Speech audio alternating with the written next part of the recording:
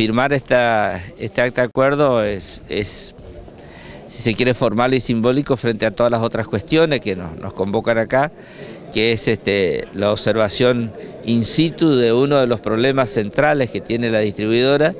que es el ordenamiento de las áreas de servicio, que es el tratamiento de los materiales productivos, los no productivos, que es el tratamiento de los depósitos, la disposición de los elementos de seguridad, ropa de trabajo, ambiente laboral, que es un proceso y que, eh, como yo decía recién, en virtud de la colaboración de los representantes de gremial, la excelente predisposición eh, que tenemos todos, hemos encontrado con, los dirigentes gremiales, particularmente con Antenor y con este Moser, que es, es el representante de federación,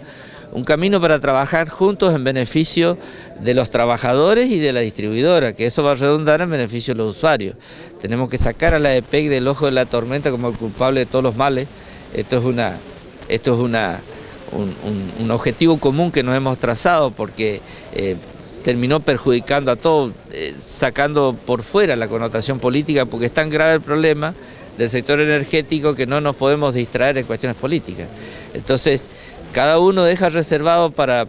los momentos electorales la cuestión política, pero cada uno de nosotros trabajamos en este compromiso de ir resolviendo gradualmente los problemas reales que tiene este, el servicio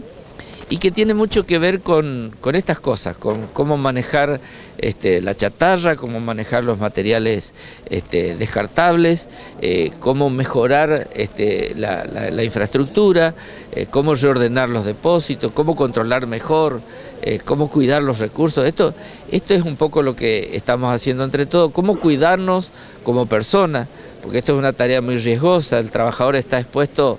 por factores climáticos. Mire, cuando está lloviendo y uno está cómodo dentro de la casa y corta la luz, lo primero que piensa es, me interrumpieron el servicio, pero no sabe que una tormenta hace chocar los cables, que se producen descargas y que, hay una persona, que es el trabajador de la EPEC, que con, eso, con esa este, eh, cuestión climática, con esa adversidad climática, tiene que salir, treparse en una escalera, aproximarse a los cables,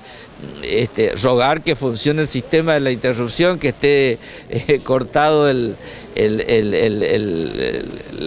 reconectador, ¿cómo se llama? la protección,